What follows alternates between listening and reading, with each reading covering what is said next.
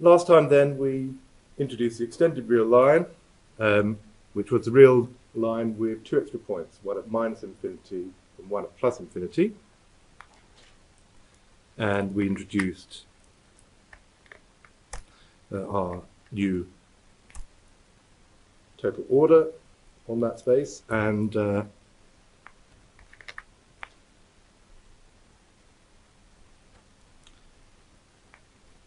I explained how to put a metric on this space so that uh, you can define notions of convergence. We haven't said very much about the convergence you get,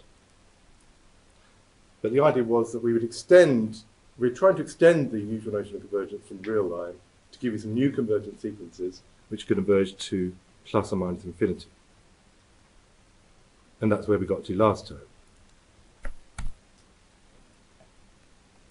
So how uh, so we've got the usual convergent sequences. Any old convergent sequence of real numbers that you already had before still converges. But we've got some new ones. As I mentioned at the very beginning last time, xn equals n, then xn tends to infinity as n tends to infinity is one of my favourite statements because this says n tends to infinity as n tends to infinity.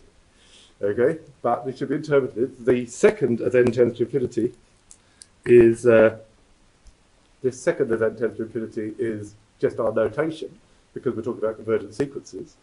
And the first one, which is also n tending to infinity, is a statement, it is the sequence in the space converging to a point in the space because infinity is now in the non-negative extended real numbers. So it sounds like a tautology, but there is actually some content. Um, so what, how do you say what it means for uh, that a sequence tends to infinity? So let xn be a sequence in um, non-negative extended real numbers.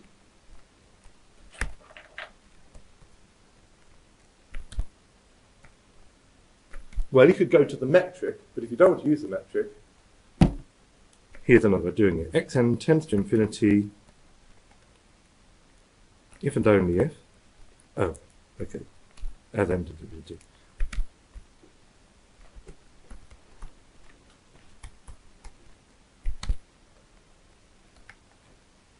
Can anyone suggest something using some quantifiers and uh, for all positive real numbers n and things like that? Anybody want to have a go?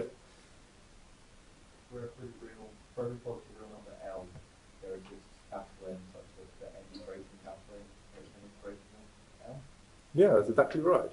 Um, you have to say that for every positive number, no matter how big, um, you eventually get past that and stay past that when you're in the sequence.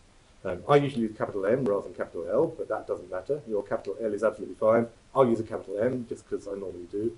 Um, for all M, and I better be careful when I say greater than naught because I don't allow infinity. So I'll just make it absolutely clear that for all M real numbers, we, we can't allow infinity because that will give you something daft. There exists a natural number n big enough so that, and then the last bit is the bit that says that if you go past that point, then you've got past m. For all n in n with n greater equal to capital N, we have xn has to be greater or equal to capital N. Uh, it doesn't matter whether you greater or equal or greater than there. Um, let me rewrite that. Uh, it doesn't matter whether you use greater than or greater or equal. Um, if you actually go back and interpret it in terms of open balls, you may find that it's more natural to use greater than there. I have a tendency to use greater or equal. It doesn't make any difference, they're equivalent definitions.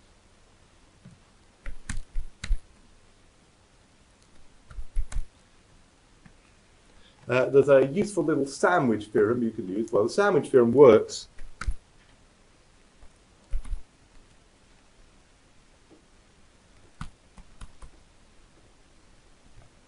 Squeeze rule.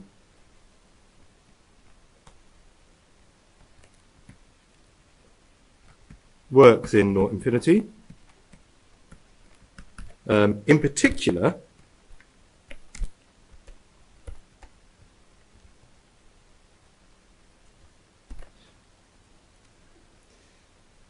sandwich theorem, you want to find two sequences squeezing another sequence between them. And if the two sequences tend to the same thing, then the one in between will have to tend to that thing as well. Now, every sequence is squeezed from above by plus infinity.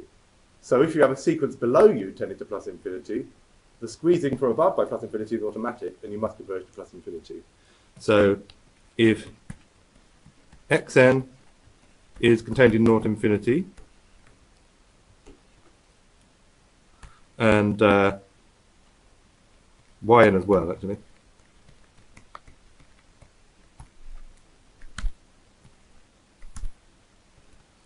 And uh, xn less equal to yn for all n. And xn tends to infinity.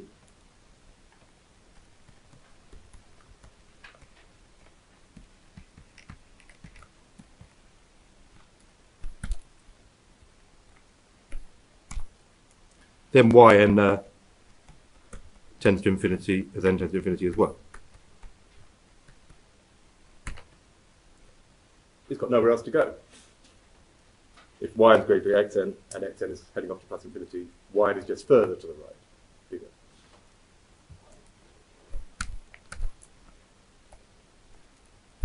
Uh, you can do the same thing. If you're working in R bar, you can do the same thing, and you can work with minus infinity as well.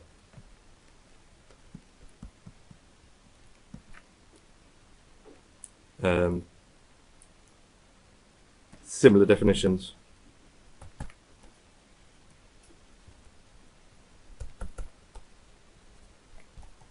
for xn tending to minus infinity. We won't work with minus infinity very much in this module. But if you go back and look at measured integration, you'll find minus infinity is important as well, so you need to go back and do, just imitate exactly what we just did to figure out minus infinity.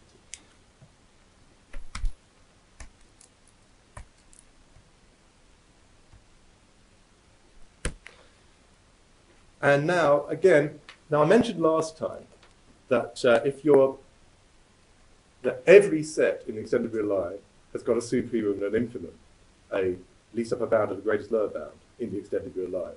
You didn't have to check for non-emptiness, though the empty set is silly, um, but it's still true. And you didn't have to check for bounded above or bounded below because you've already got at least one upper bound plus infinity, at least one lower bound minus infinity. So that meant everything had an infinite suit.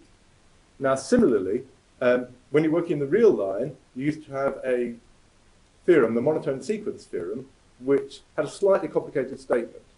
Um, monotone sequences, uh, or I'll remind you what those are in a minute, but basically they're either, sequences where either none of the term, uh, where either every term is greater or equal to the previous, or alternatively, every term is less equal to the previous. Um, they're the two kinds of monotone sequences. They're not allowed to have some going up and some going down. Uh, monotone sequences of the real line can do three things. They can converge to a real number, they can diverge off to plus infinity, or they can diverge off to minus infinity. In the extended real line, then that, that becomes much simpler. In the extended real line, every monotone sequence converges, whether it's to a real number, plus infinity, or minus infinity. So the statement becomes simplified. Every monotone sequence in R bar converges in R bar. Um, I'll just remind you um, We'll use the terms non-decreasing sequences and non-increasing sequences.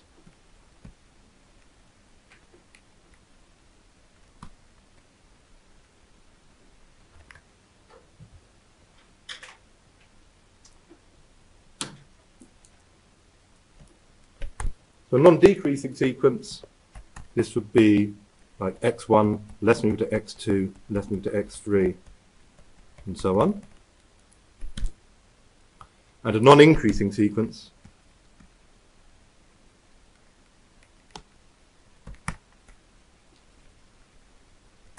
That's x1 greater equal to x2 greater equal to x3 greater equal to?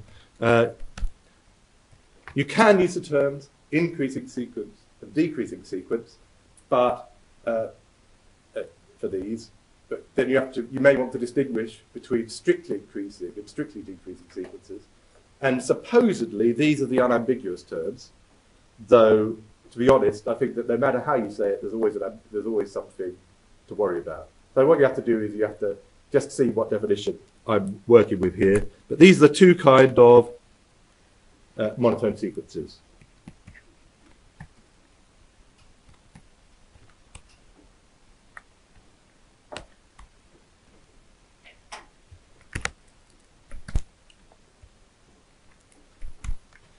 Now, you're in R bar, so I mean, you could also think of this as monotone, uh, non-decreasing. You could also call monotone monotone increasing if you want, as long as you distinguish from the strictly increasing.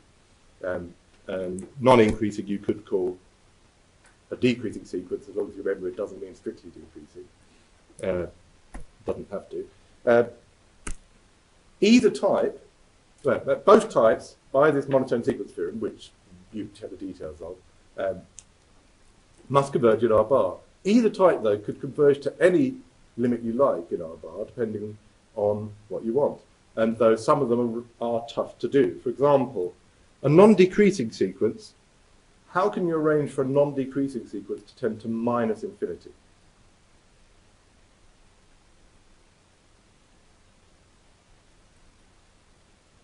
There's actually only one way to do it,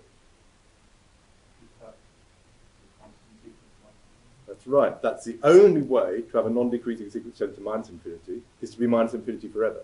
Because if you're non-decreasing, if you ever leave minus infinity, you can never get back again. and you can't even get close. So as soon as you leave minus infinity, you've had it. So if a non-decreasing sequence is to tend to minus infinity, it's got to stay at minus infinity forever. Similarly, if a non-increasing sequence is to converge to plus infinity, it has to start at plus infinity and stay there forever. Um, that's the only way. Every other limit, there's lots of different ways of doing it. Um, so if you want some real number, you could have a sequence that has some infinite terms in it, and then eventually becomes a sequence of real numbers converging to that real number. That's what happens. If you want a sequence of extended real numbers to converge to a real number, you'll have finally many terms that are plus or minus infinity, and then after that, um, you'll you have to have real numbers. And then it turns into an ordinary real sequence converging to the real number. So, um, but there are quite a lot of ways for non-decreasing sequences to tend to plus infinity, because that can be done. Uh, well, I've already given you that n tends to infinity is n tends to infinity. So, uh, so our comments here then are the only non-decreasing sequence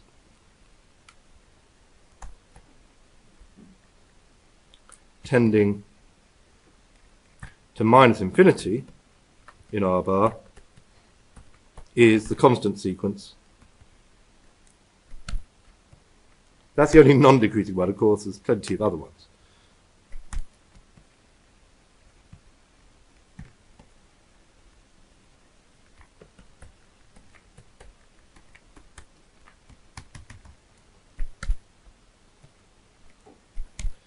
Um, there are plenty tending to plus infinity. So sequences of real numbers can tend to plus or minus infinity.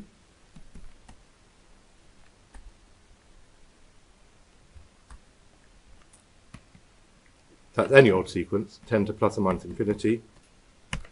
Um, but non-decreasing sequences of real numbers can't tend to minus infinity.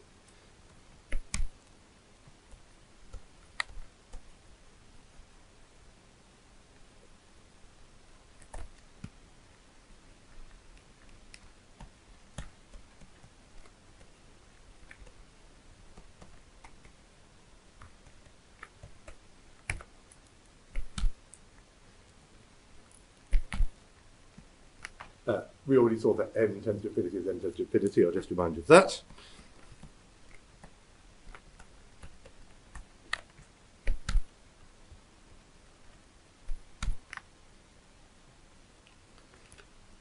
And uh, sequences in R bar which converge to real numbers are closely related to real sequences converted to real numbers. Um, well, I won't, I won't, write that down. I, have said that already. Uh, you, you can think about that one. Okay, I think uh, that finishes section 3.1.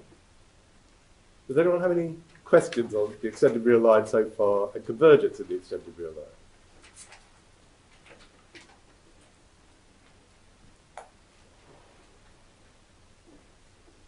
Okay, if not, I'm going to stop the recording there. I'll start a, a brand new recording for section 3.2.